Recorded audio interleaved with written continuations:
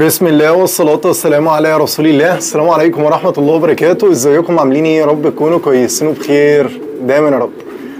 فيديو النهاردة بإذن الله بعنوان الحمام بيعيش كام سنة؟ وأكبر فرد حمام عندي عنده كام سنة؟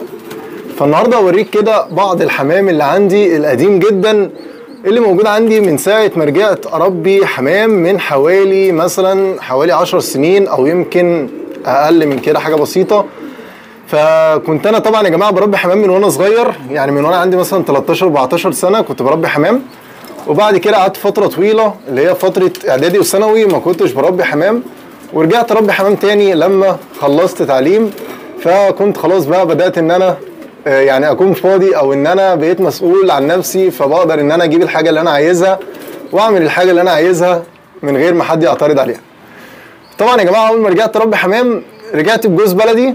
وجوز البلدي ده حاليا مش موجود لأن أنا بعت الحمام البلدي اللي كان عندي كله بعد مثلا إيه حوالي سنة أو سنتين من تربية الحمام البلدي. فبعد كده بدأت إن أنا أجيب إيه زواجل وكريزليات وحاجات زي كده. فالذكر الكريزلي ده يا جماعة من أكبر الحمام اللي عندي ومن أكتر الحمام اللي عندي عجوز. يعني بص كده وش فرد الحمام. بص عامل إزاي؟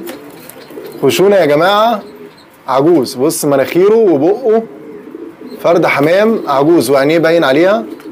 تمام؟ السن.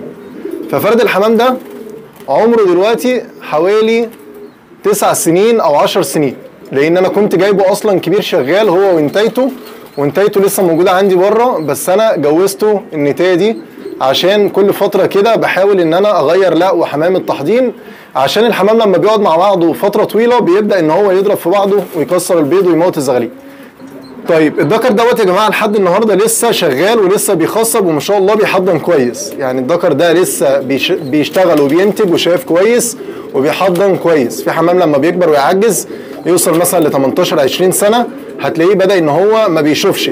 وهتلاقيه برده بدأ إن هو ما بيخصبش يعني هتلاقي البيض بتاعه بيطلع فاضي.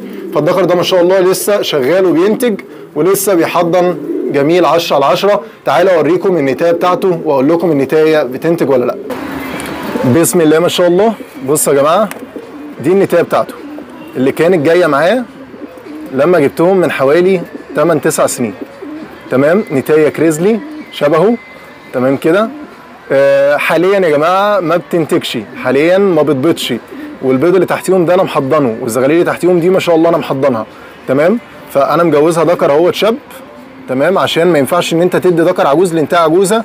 ولا ذكر شاب لانتهى شابه لازم فرد عجوز مع فرد شاب عشان الخبرة. تمام كده؟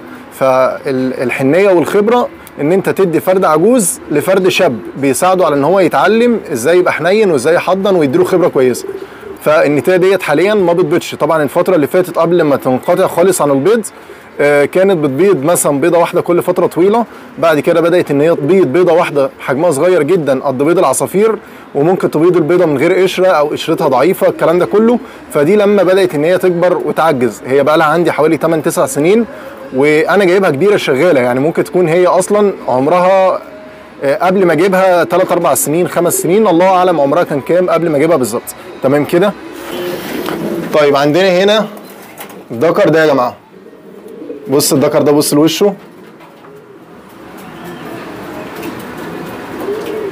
ده ذكر من الوشوش العظام. تمام؟ عندي بقاله حوالي 8 سنين. كنت جايبه كبير.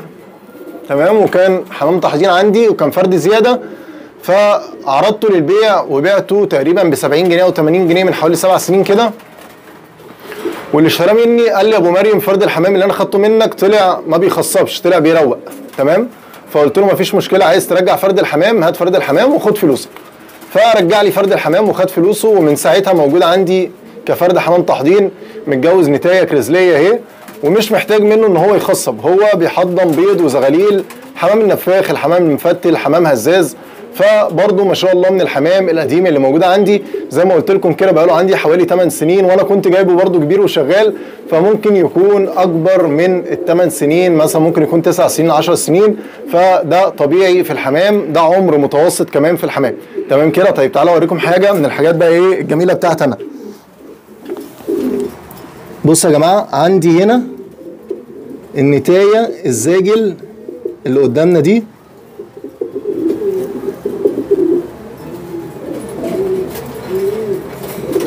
النتايه الزاجل دي يا جماعة لابسة دبلتي القديمة. بص كده. عليها اسمي اهي مكتوب التونسي رقم 011 تمام؟ دي دبلتي القديمة. قبل ما أبدأ في موضوع اليوتيوب. تمام؟ اهي يا جماعة. دبلتي القديمة قبل ما أبدأ في موضوع اليوتيوب. وقبل ما يعني أبقى أبو مريم التونسي يعني كان اسمه أبو مريم التونسي عادي كان معايا مريم يعني ما شاء الله. بس النتاية ديت عندها حوالي سبع سنين تمام كده؟ فرخي من الحمام الزاجل اللي أنا جبته أول حاجة خالص. يعني دي بنت الحمام الزاجل اللي أنا جبته أول ما بدأت. فما شاء الله عمرها دلوقتي حوالي سبع سنين وداخلة في ثمان سنين. تمام؟ اللي تحتيها دول زغاليلها يا جماعة. عندها سبع سنين وما شاء الله إيه اللي تحتيها دولت زغاليلها فما تقلقش الحمام ممكن يبيض وينتج لو عمره سبع سنين وثمان سنين. تمام؟ النوتي بتبيض وتنتج برضه لو عمرها سبع وثمان سنين.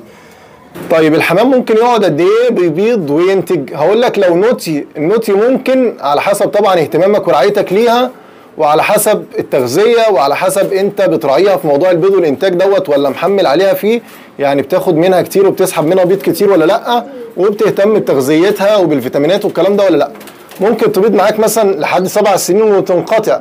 ممكن نتاية تانية تقعد معاك 8 سنين 9 سنين 10 سنين شغالة 10 على 10 ممكن نتاية تقعد 12 سنة و13 سنة يا جماعة تنتج وتبقى 10 على 10 ما فيهاش مشاكل. بعد كده تبدأ إن تظهر فيها إيه؟ مشاكل في البيض والإنتاج. زي إن هي تأخر في البيض زي إن هي تبيض بيضة واحدة زي إن هي تنقطع عن البيض خالص الكلام ده كله. الذكوره طبعا في حالات اشتغلت لحد ما كان عمرها 15 سنة و18 سنة يا جماعة. وده كده عجوز جدا جدا جدا بالنسبة للحمام. تمام؟ فالحمام ممكن يعيش قد إيه؟ أقول لك الحمام يعني ممكن يعيش لحد 18 سنة و20 سنة. دي حالات آه، ناس أكدتها لي في التعليقات قبل كده قالوا لي إن هم عندهم حمام عايش لحد مثلا إيه 18 و20 سنة تمام؟ بس ما أعرفش بصراحة إذا كان ممكن يكون في حمام يعيش أكتر من 20 سنة ولا لأ. طبعا إخواتنا اللي عندهم حمام قديم وعايش بقاله سنين كتيرة يكتبوا لنا في التعليقات ويقولوا لنا أكبر فرد حمام عندهم عايش بقاله كام سنة. تمام كده يا جماعة؟ فزي ما شفنا مع بعض كده ده الحمام الكبير اللي موجود عندي وأكبر حمام موجود عندي عمره قد إيه وإيه الحمام اللي شغال منه؟ وإيه الحمام اللي خلاص بطل إن هو يشتغل وينتج منه؟ فده كان فيديو النهارده يا رب نكون استمتعنا بيه. ما تنساش لو عجبك الفيديو اعمل لايك على الفيديو واعمل اشتراك في القناة وفعل الجرس عشان يجي لك اشعار بأي فيديو بينزل على القناة جديد. وكمان ما تنساش تعمل مشاركة الفيديو عشان توصل الفيديو لكل الناس. ولو عندك أي استفسار أو محتاجة موضوع نتكلم فيه اكتبه لي في التعليقات وإن شاء الله اجهز لك الموضوع. أنزله لك على القناة في أقرب وقت. والسلام عليكم ورحمة الله وبركاته. أخوكم أبو مريم التونسي.